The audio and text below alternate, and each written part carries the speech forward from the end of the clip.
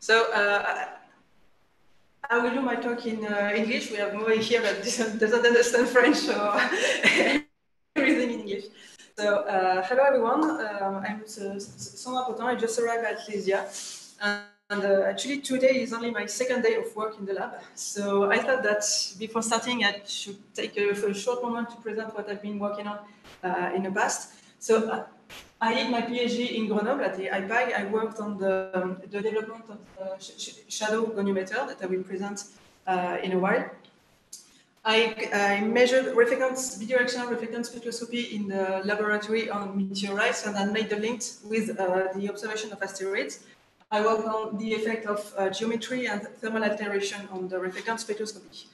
Then I went to Canada for a postdoc, where I worked on the development of a Raman spectrometer for the Canadian Space Agency. And then I studied here at Lesia to work with uh, Antonella on the MIRS instrument and uh, the observation of the characterization of nearest objects.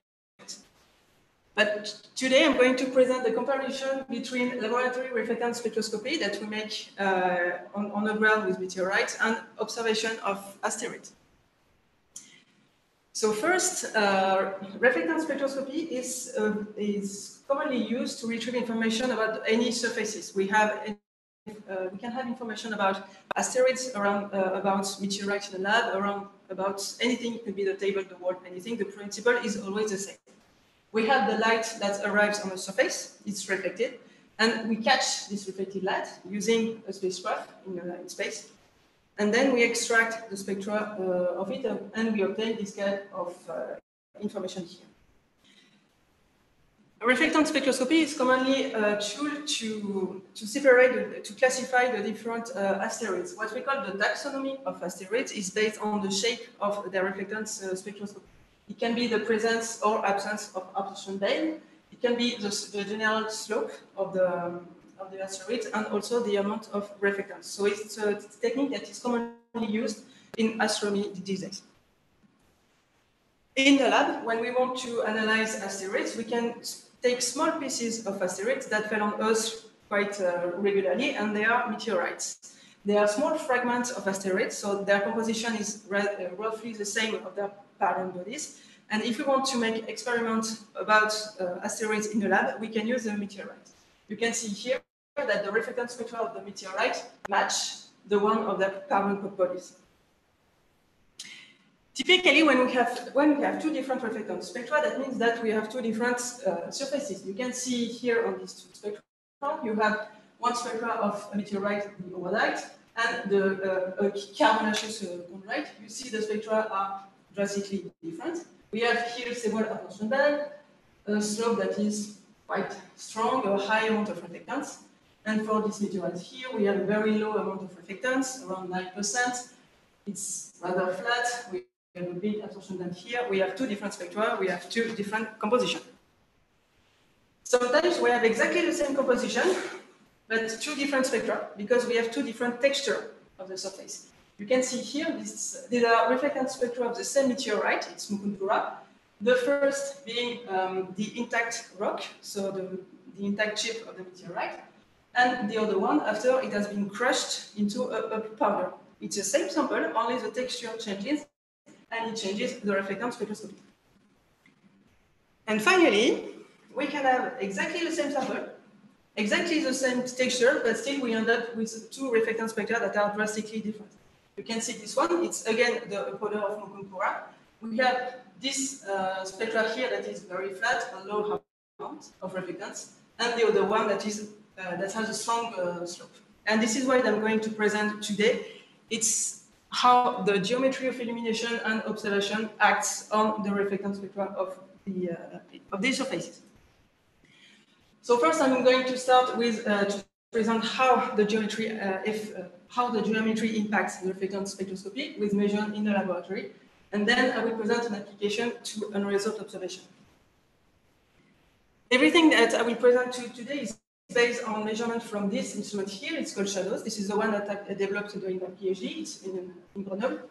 It's a goniometer that is used to, um, to make reflectance spectra of any uh, surfaces. You can see here on this picture of the instrument, our sample is put right here between the two arms. we have one arm that sends the light on the samples, and another arm that holds two uh, detectors that is used to catch the reflected light. You can see that both arms are installed on rotational uh, stages, so we can change the angle at which we send the light on the samples and the angle at which we catch the reflected light. We can, uh, everything is also put on uh, big rotational uh, stages on the ground, so we can turn around the samples and we can change also the azimuth uh, angle. With uh, this one, I, I, used to, to acquire for each sample 71 different uh, spectra, each taken at a different geometry. Just to be sure that we start on the same on the same page, I will start with a few definitions for the reflectance. Um, it's not the formalism that is mandatory when we make reflectance. This is the one that is commonly used. It's not mandatory. Generally, we consider the incident, the incidence angle and emergence angle with regard to the normal of the surface. So incidence here, emergence here. And we consider the phase angle as a gap between the incidence angle and the emergence angle. So this whole angle that is here. Most of the time, we only define the uh, uh, geometrical configuration only using uh, this angle here. The light will scatter of the photons and will reflect the, the light, and we end up with uh, two, we see two different surges of reflectance, what we call the backward scattering and what we call the forward scattering. So we have two blobs of reflectance, one in the direction of uh, illumination and the other one uh, in the forward direction. We have several specific directions. First, it's the opposition. It's, it's uh, when the phase angle is at zero degrees. So the reflected light, the, the reflected light uh, follows exactly the same direction of the illumination. We have the nadir, which is a normal to the surface, and we have the specular direction. In, in this case, the incidence angle and emergence angle are equals uh, with respect to the normal to the surface. It's uh, uh, generally the reflectance of a mirror is a specular, is a specular reflection. We can represent the uh, reflectance of a surface using this kind of plot, this polar plot. Again, it's not mandatory. I like this representation because we can see how the light will scatter the light, uh, the, how the surface will scatter the light, is not mandatory. In this representation here, and this is uh, the one I will use in my presentation. The red light is the direction of uh, illumination, and each point is a reflectance measurement. The position of the point represents the position of the uh, observation angle, and the length here represents the amount of reflectance. So for this measurement here, we have an incidence angle of 60 degrees, an emergence of 70 degrees, and we have a reflectance amount of around uh, 0.18, so 18%.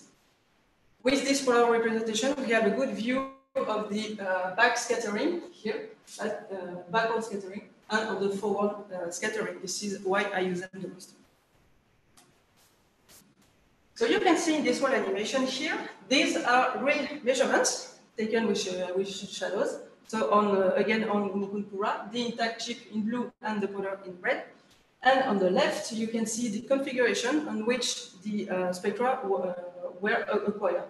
And you can see that we have a very strong variation, a very strong dependence of the reflectance due to the geometry.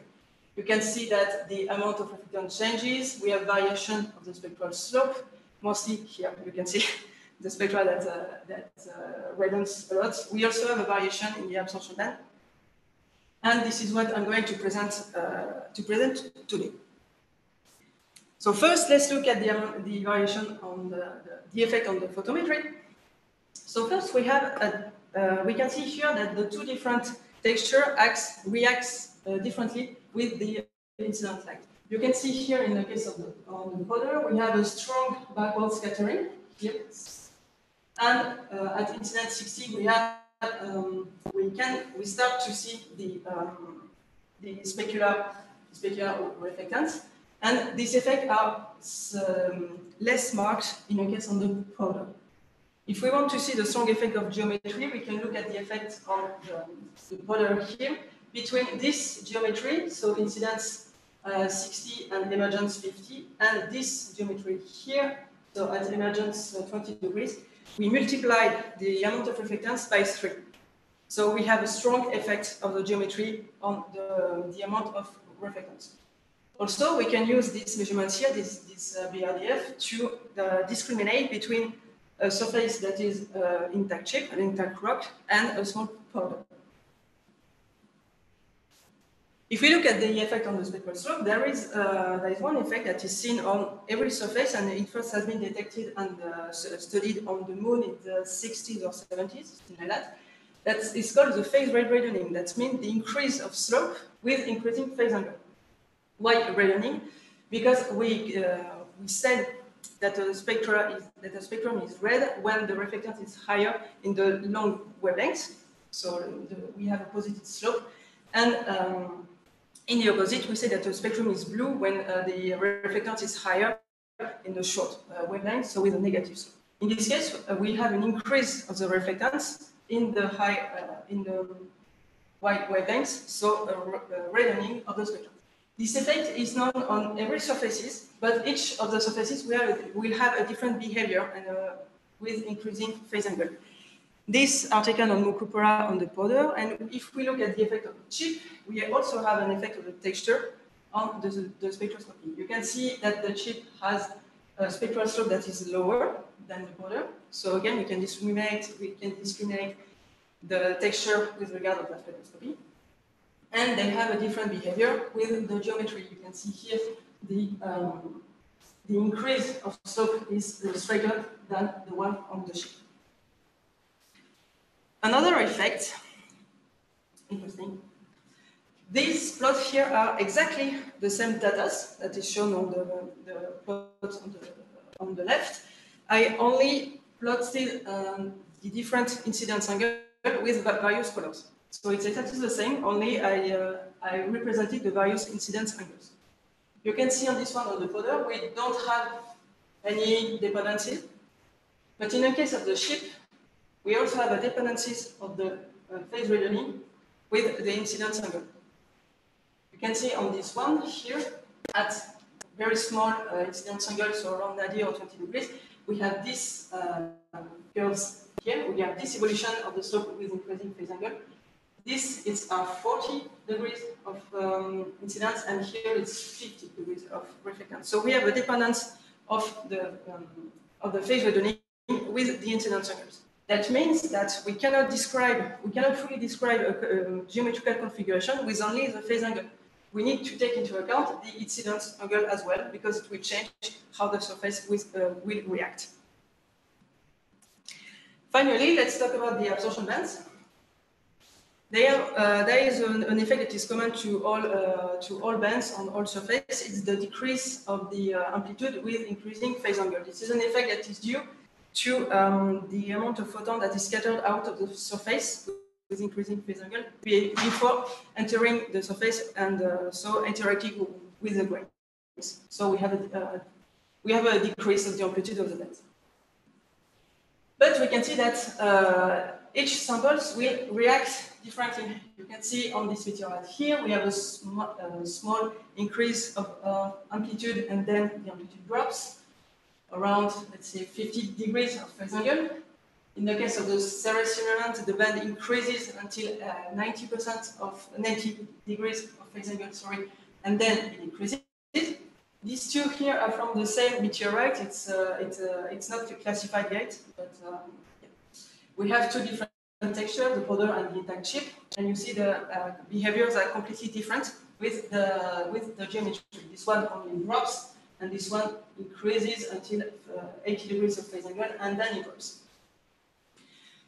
To explain why we have such different behaviors, we have to separate the different components of the band. In here, I focus on the three micrometer hydration uh, features, but this is not uh, a single band. This band is a combination of uh, several components.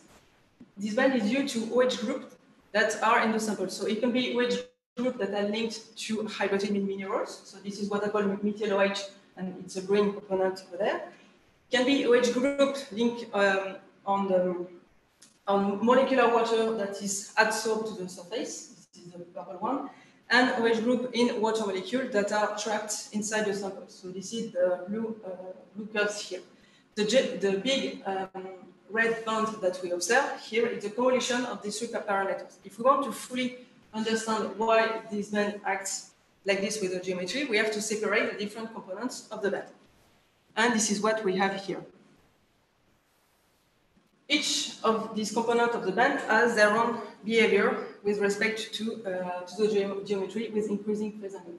They, are, they all act the same, so they, their amplitude increases and then decreases with increasing phase angle, but each one at, at the, the, their own pace. You can see this component here. So this is the uh, the water inside the samples. Um, so the blue curve here start decreasing with a phase angle of 40 degrees. This one uh, with a phase angle of 100 degrees, and the correlation of, of all these components will uh, create the behavior of the big generator. Right now, I cannot explain why each of these components acts uh, that way. It requires a lot of um, a lot of measurements on, um, on instruments that have a very high spectral resolution and that are able to change the geometry. Uh, these instruments are rather difficult to find, so right now I cannot explain why. This is an, an analysis that I would like to make, but right now I cannot explain exactly what's going on. And now I suggest a small application. Now that uh, I have presented to you all the effect of geometry that is done on the reflectance spectroscopy, Let's look a small asteroid. So uh, when we make measurements in the lab, most of the time our sample is flat uh, on, the, on, the, on the instrument. We make sure that they have a rather homogeneous composition in the area that is observed. We make sure that there is a big range that creates shadows on, on its, uh, on its surrounding. We make sure that the texture is roughly the same also on the, on the studied area. So we control basically everything about our, our samples. On an asteroid like this, the composition is not homogeneous. We have different patches of uh, texture. It's not flat. you can see there is a lot of uh, craters. We have some uh, cliffs like this. So we have uh, surface topography that will induce changes of uh, geometry on the surface. And finally, we have a global shape. If the light uh, if the, the sunlight arrives on this direction, if we are here on the asteroid, the sunlight is at the top, so this area here is illuminated at, under nadir illumination. But if we are under the, uh, on the pole of the asteroid, we receive the light under grazing illumination. So we have a variation of uh, geometry due to the shape also of the asteroid. So it raises two questions. How much the shape and uh, the topography will act on its reflectance spectroscopy, mostly when we uh, make spectroscopic observation without resolving the surface and the shape, how much it will change its uh, spectroscopy. And finally, we compare observation, unresolved observation of asteroids and measurement in a lab where we control everything, everything. Do we have a bias when we compare the, these things? And this is what I'm going to present to you uh, here today. To fully make this, compo this composition, this uh, comparison, sorry, we have to take an, an object where we fully know its shape, its topography down to the centimeter scale. We have to know the, the, its composition and how the composition is, um, is uh, scattered on the surface. We have to know fully the texture also. So it's impossible to find in the nature. So we have to create our own small asteroid. We have to simulate a small asteroid. How do we do that? We take a reference surface in a lab, so it can be a geological standard, it can be a meteorite, a powder, an intensity, basically anything we want. We measure its reflectance spectroscopy under several geometries. So typically, this is the kind of data that uh, I just showed you in the first part. So we end up with 71 different spectra, each taken at each uh, at uh, different geometries. It's good, but we want to be able to, to uh, recreate the reflectance under any geometrical configuration. So for this, we have to inverse this data to retrieve a, uh, surface parameter, and then we, we will use this surface parameter to recreate the reflectance under any given geometry. We tried with the Hapke model and the MRTLS um, model. This one here, it's a a quadratic sum of various terms, terms that we call uh, kernel, that will describe how the light, uh, how the light is reflected by your surface. It recreates um, the general amount of reflectance, it, it recreates the backward scattering, the forward scattering, the specular direction, the, the opposition effect also. It's based on real physical parameters, so it's on these terms here. And we have here some uh, terms here that are spectral weights, so it's just uh, factors, spectral uh, factors, that are determined by the surface uh, reflectance properties. And inverting a full BRDF with uh, this model here is only to find the right uh, configuration between these weights here. So it's much faster to inverse the BRDF using this model here. It's easier uh, rather than using the Hapke model. Also, um, when we compare results from the Hapke model and this uh, model, we found that Hapke model adds a lot of noise on the, the spectrum because we have a noise on the, um, the physical parameter of the surface, which is impacted on the, um, which impacts the resulting uh, spectroscopy afterwards. So we choose to use this model here to inverse our spectra because we don't want to add any noise on our results. So we end up with uh, the spectral behavior of the surface. In the same time, we, we use a shape model of an asteroid and a terrain model of an asteroid. So we have the shape and the topography of our target. And we will apply the uh, spectral behavior on the shape model. So, uh, so we will end up with a simulation of the, our target homogeneously covered with the same composition and texture than the, uh, the reference surface that we took um, in the laboratory. We put this simulated object in a ray tracing algorithm. We set the direction of illumination, we set the position of uh, the observer. Here we take a pinhole camera.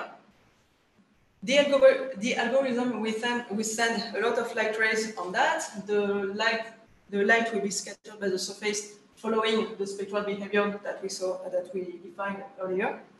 And the light will be catched by the observer, and we end up with, uh, with images, with spectral images that are our object, our simulation. It's only in the, uh, uh, on the computer, these are not real observation, it's simulation of observation. I would have liked to present simulation of uh, on Phobos in preparation of MIRS. Uh, they have, uh, they have, they have, they are, sorry, shape model and terrain models that are very good because uh, they have been several spacecraft orbiting the target. I know which uh, meteorite to use uh, as a reference surface. But I don't have enough, right now I don't have enough materials to make a BRDF on Tagish Lake, so we, we were not able to simulate Phobos in our experiment right now. We need a BRDF of, of Tagish Lake, and I don't have it now. So uh, I will focus today on the simulation of Ceres and Vesta. On Ceres, we applied a, a Ceres simulant uh, that had been rendered highly porous by a sublimation experiment. So we have the, the blue shape, uh, the blue um, color of Ceres. And on Vesta, we showed the um, um, meteorite that is an uh, howardite, so similar to the composition of Vesta. So first, let's look at Ceres. So this is images of, uh, simulation. We simulated two uh, various scenarios. A, a spot pointing experiment. So the object is fixed, the observer is fixed, and the sunlight, the sun moves to create variation of geometry. And we simulated a, a, a flyby, so the sun is fixed, the object is fixed, and the observer flies by uh, Vesta. At each point, the observer looks toward the center of the object and takes pictures at different uh, geometries. So we have our images, but uh, what we want is the uh, unresolved observation of the asteroid. So for each of this image, we took the reflectance spectra, we, ever, we sum it over the whole surface, and we end up with reflectance spectra of our simulated target. The first, uh, the first plot is for the um, spot pointing experiment. Here, it's the spectra from the flyby. You can start to see here that we have an effect of the geometry um, um, between this spectrum here and this spectrum here. They are very different. And we want to compare this with the laboratory. So we extracted Um, so in this plot here, I show the um, variation of the spectral parameters, so the amount of reflectance, the spectral slope, and the depth of the absorption band, with increasing phase angle. So this is what we call phase curves. In blue and red are the results from the simulation, so the unresolved observation of, uh, of Ceres, and the open circles are the value that are obtained in the laboratory on the reference uh, surface, because we want to see if there is a, a small um, there is a, a, variation. So first, you can see that between the two scenarios, for pointing and observation, we don't have any difference between the various uh, uh between the, the various phase curve. Each of the scenario returns the same um, same spectrum. But if we compare to the reference surface, you can see here that the reflectance from the simulation is generally higher than what has been measured on, on the lab. The same surface, just it has been applied on the, on the panel of Ceres. So we have an increase of the reflectance. If we look at the spectral slope, the spectral slope of the simulation is lower than, uh, the, the, than the laboratory surfaces. A 3 micrometer band is not moved, it's right in the middle of uh, the laboratory uh, result, so it's fine. Where does it come from here? To explain the variation between laboratory surface and the simulation, we have to look at the distribution of the local incidence and emergence angle on the surface, because it's a convolution of the, um, each variation of geometry uh, on the surface that will create the differences that is seen between the reference surfaces in the lab and the, um, the, uh, and the asteroid uh, simulation. Now, why uh, we have two uh, similar uh, observation? My theory is that because it's because Ceres is spherical. That means that uh, the, the, variation between the laboratory surface and the simulation is only due by the shape of, uh, by the spherical shape of, uh, of, uh, of Ceres. You can see that we can see some uh, craters on the surface, but their impacts on the geometry is not strong enough to induce a very strong variation on the, the on the, the reflectance spectroscopy. On, uh, the only thing that will modify the reflectance here is the shape of the, of, the small body. It was a spherical object, but now we can look at Vesta, which Vesta is not spherical. So same, we took we made the same observation, so the spot pointing experiment, the equatorial flyby, and to change the projected shape of the asteroid, we uh, we did also a polar flyby. So we set the sun in the uh, north pole of Vesta, and um, the observer flies down from the north pole to the south pole, again at each time pointing toward the center of, of Vesta. So we have our three uh, different scenarios. Same, we make the, the unresolved reflectance spectroscopy. We end up with this uh, data set here. On top, it's uh, the spot pointing, equatorial flyby, and the polar flyby. And same, we want to compare with the measured in the, um, in the laboratory. So we compare the uh, spectroscopic parameter with the, the one that has been that derives from laboratory measurements. And we end up with this result here. First thing that we can see is that the three different scenarios end up with different phase We can see here we have the, uh, from the spot pointing in blue, from the uh, equatorial flyby in red, that is what drastically different, and the polar flyby here. We have three different scenarios. It's the same object, it's the same surface, but we end up with three uh, different uh, curve only because we change the direction of illumination and the direction of observation on our object. If we compare well, now to the reference surface, we can see that in this area here, the simulations are brighter. than That, uh, that's what is measured in the in the laboratory, and then in this uh, phase uh, range here, the simulations are darker than uh, what is measured. So we have a strong difference between laboratory measurement and uh, unresolved, unresolved observation. In the case of the spectral slope, the simulations are bluer than what is measured in the lab.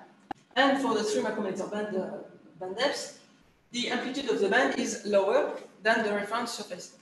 Again, it's the same surface, it's the same, it's the same topography. The only difference is in the lab, the, the surface is flat, and on the simulation, it's applied on, uh, on the Earth-shaped model and, and a terrain model.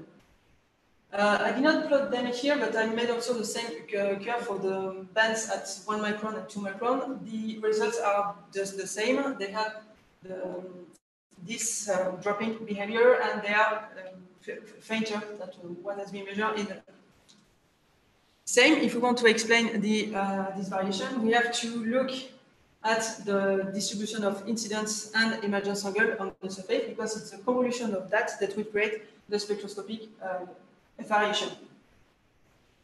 Now, what, why do we observe difference between the scenarios and the difference with the lab? It's because the star is not spherical and we have a strong effect of the topography. You can see on the images that we see very well the craters. We, have, we can see very well the shadows that is created by the crater and by the surface topography. So the cliffs that is uh, on this side here like that. Compared to the side, the topography of Vesta is strong enough to induce very strong spectroscopic variation that uh, impacts afterwards the in result uh, spectroscopy. Most of the most of the time in the lab when we when we cannot measure reflectance under different uh, geometrical configuration, we take only one spectrum, one uh, spectrum, generally at a phase angle of 30 degrees because we are far from the opposition uh, from the uh, opposition surge, and the spectral has a spect uh, the reflectance of one, so it's uh, easier to, to, compare. So in this slide here, I compared the reflectance, spectral slope, and band depth of the 3 micrometer band measured in the laboratory under a single geometry, so nadir illumination at 30 degrees of observation, and simulation at a phase angle of 30 degrees, like we do most of the time when we compare observation and, and measurement. You can see that for Ceres, we have an increase of reflectance around 3%, so we go from 11% uh, to 40%. Uh, we go from uh, minus 0.021 to minus 0.5. If you look at Vesta, we, only, we have an increase of reflectance. We go from 38% to 40, 40 42%. A decrease of the slope uh, between uh, 0.044 to 0.036.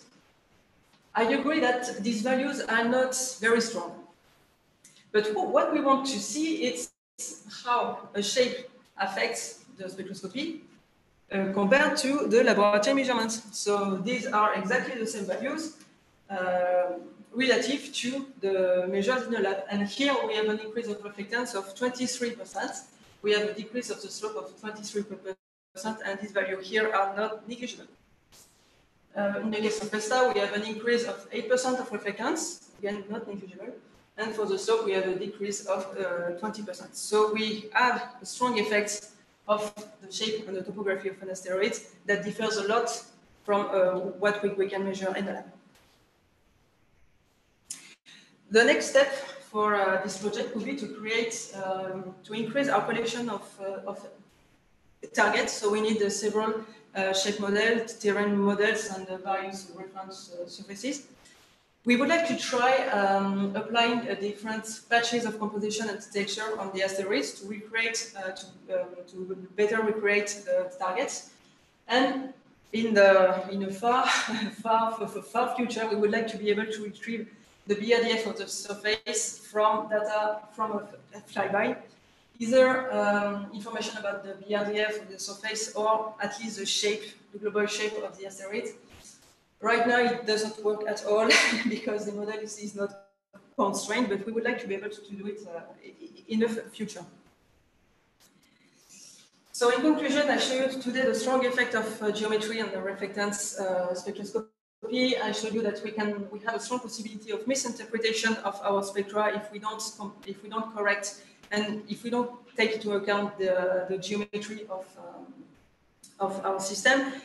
We cannot also fully describe the, the, geometrical configuration using only the phase angle. We have to take into account the incidence angle because we have dependence on it as well.